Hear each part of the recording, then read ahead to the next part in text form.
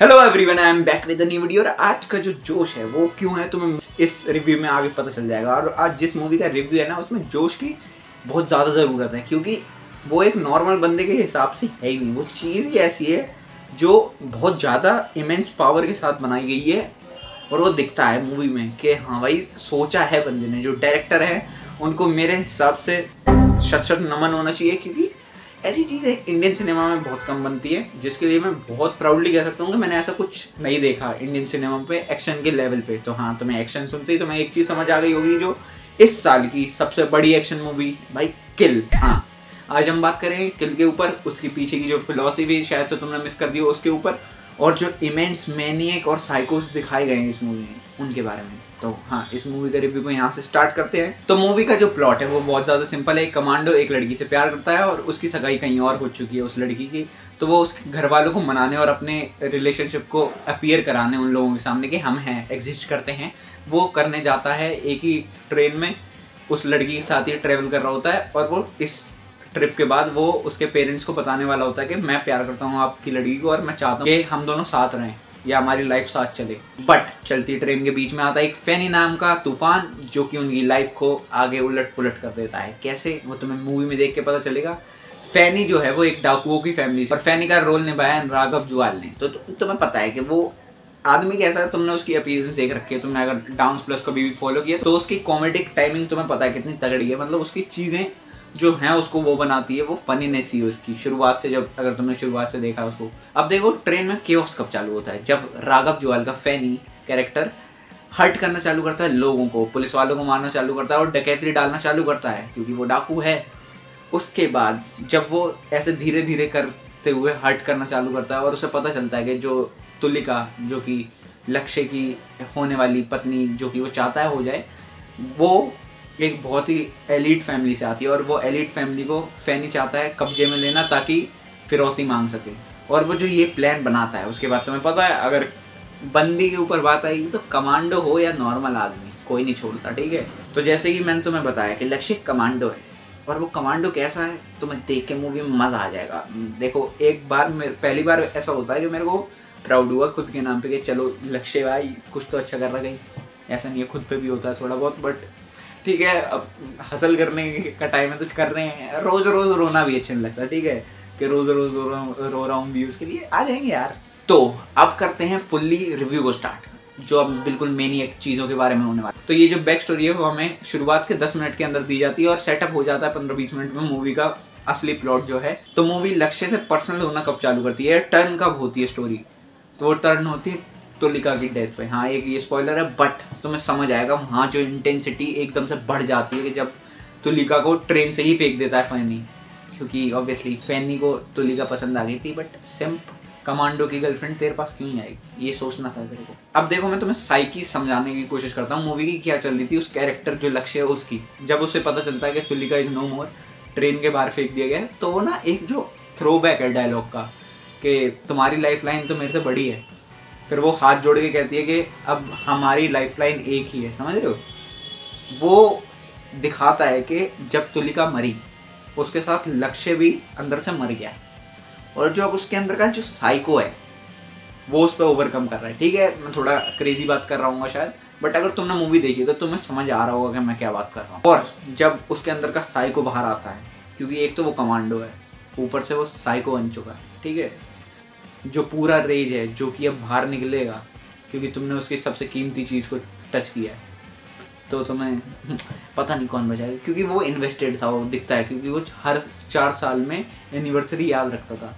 ये वैसे लौंडे ज़्यादा करते नहीं हैं बट ठीक है। तो जब तुलिका मर जाती है और वो अपने मुर्दा शरीर के साथ एक तरीके से मारने निकलता है लोगों को, और भाई गॉड क्या मारता है, कुत्ता बना देता है। ऐसा धोता है, ऐसा धोता है कि रुई निकलती है ना, जैसे फट फट फट फट, रुई को जैसे धोते हैं। वैसा धोआ जाता है लोगों को। और कुछ कुछ सीन तो प्यारे हैं इतने मूवी में कि तुम्हें मज़ा ही आ जाएगा। जैसे एक फायर एक्सटिंग्विशर वाला सीन है जो कि ट्रेलर में भी है शायद, और वो जब दिखाया जाता है, जो ब्रूटलनेस जो रूथलेस इंसान का दिखता है उसमें this what we want from Indian cinema और फिर एक और डायलॉग सुनाया जाता है कि लक्ष्य को जो तुलिका ने बोला था कि आना मेरी मेरी ज़िंदगी है। तो अब वो जा रहा है तुलिका की ज़िंदगी बचाने बट आहाना के आहाना के रूप में, ठीक है? और इस डायलॉग से ये समझ आता है कि वो एक जो लास्ट चांस है ना कि तुलिका को अपने अंदर ज़िंदा रख सके, वो वापस करने जा रहा है। और फिर जो उसका पागलपन दिखता है, वो लिटरली एक चल, चलती ट्रेन के ऊपर चढ़ जाता है एक रस्सी की मदद से। और फिर जब वो दूसरे डब्बे में एंटर कर रहा होता है, और वो जब मरने ही वाला होता है क्लोज टू डेथ तब भी उसने अपना वो नहीं छोड़ा, और वो जो अंदर एंट्री करने के बाद फिर से कोराम मचाया जाता है। वो जो स्पाइडरमैन से लटका दिए जाते हैं चालीस, एक पूरे डब्बे में बंदे लटकाता है वो मार के लिटरली भाई रूथ लिटरली मज़ा आ गया भाई वो सीन ये होता है भाई सीन और फिर हमें दिखाया जाता है कि वो खत्म तो हो चुका है, पर वो जो खत्म हो चुका है ना, वो जो पेन वो अपने साथ एंगल्फ करके चल रहा है। तुलिका की मौत के बाद वो सबको वही देना चाहता है। जो तुमने मुझे दिया है, मैं तुम्हें दूँगा। बराबर से, और क्या पता ज़्यादा भी हो। नेक्स्ट टू इम्पॉसिबल तुम सोचोगे नहीं कि ऐसा कभी तुम देखोगे। रीढ़ की हड्डी पैर से तोड़ता है बंदा। बट हाँ वो सब चीज़ें जस्टिफाई होती हैं क्योंकि वो एक कमांडो है, ठीक है?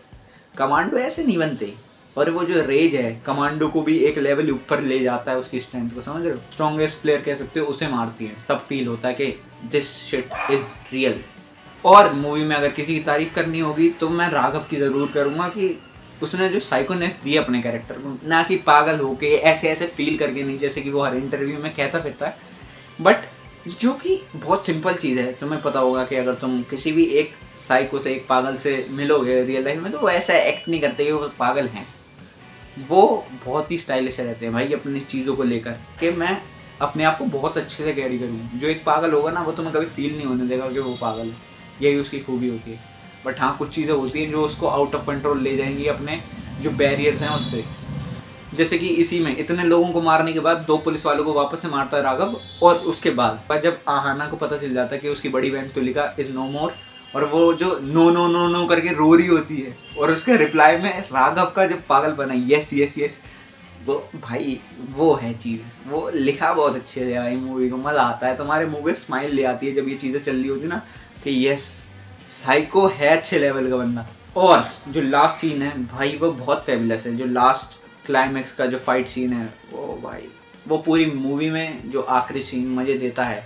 उससे पहले भी मज़े देता है कि जब वो लक्ष्य किसी के मुँह में एक पेट्रोल कैन या एक एल्कोहल कैन डाल के जला देता है भाई। और फिर वो जो Ashish Vidyarthi sir sorry for your loss but आपका रोल यही था। क्या करें और जब वो मारते मारते at the end of the movie जब वो मार रहा होता है फैनी को, और जब उसकी आँखों में वो इतना अपने आप को, इतना अपने आप को लार्जर देन लाइफ दिखा देता है कि वो तो फैनी की आँखों में वो डर बसा देता है कि अगर मेरे मारने के बाद तुझे अगर नर्क भी जाना पड़े तो तू जो ये रूथलेस है मेरी, ये जो आग में बरसा रहा हूँ अपनी आँखों और अपने मुक्कों से, वो तू नहीं भूल पाएगा। वो जो पागलपन वाले सीन है कि आखिरी मुक्के तक भी मारूँगा, वो वाला सीन गजब वैसे पता है फैनी एट लास्ट जीत जाता, बहुत प्यार से। अगर वो उसको तुलिका के जो वो हैं डायलॉग्स ना बोलता। फैनी भाई, आप ना यहाँ से स्ट्रॉन्ग नहीं हो। वहाँ से तब भी थोड़े बहुत हो।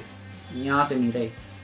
और मुझे लास्ट का एक सीन बहुत पसंद आया कि जब भी तुम देखोगे, अगर कोई सिविलियन और सोल्जर्स एक साथ घायल हुए हैं तो ऑब्वियसली सोल्जर कितना भी घायल हो, वो हमेशा सिविलियंस को एक अपर हैंड देगा कि yes you go for them secure them और रेस्क्यू करो इन लोगों को, ताकि तुम आर्मी वाले हो। तुम ये कभी नहीं, तुम कभी भी गुहार नहीं लगाओगे मदद के लिए। तुम हमेशा कितने भी हर्ट हो जाओ, कितने भी वोंडेड हो जाओ, तुम्हें हमेशा पता है कि तुम्हारी बाउंड्रीज क्या हैं। तुम शायद से बाउंड्रीज के बाहर जा चुके हो।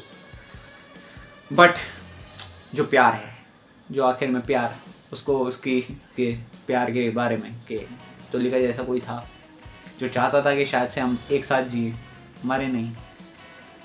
वो जो एहसास है उसको आखिरी में उसके साथ छोड़ के मूवी एंड हो जाती है और हमें मूवी एक बहुत अच्छा क्लोजर दे जाती है कि हमें खुद सोचना पड़े। हम ये ना सोचेंगे वो ज़िंदा है या मर गया।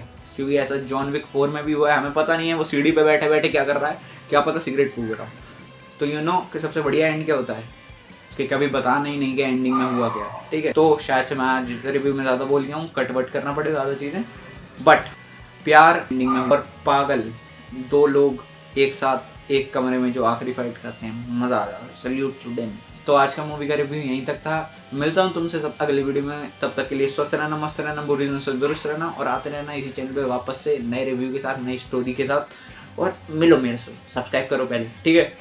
और मिलो मेरे से। Bye bye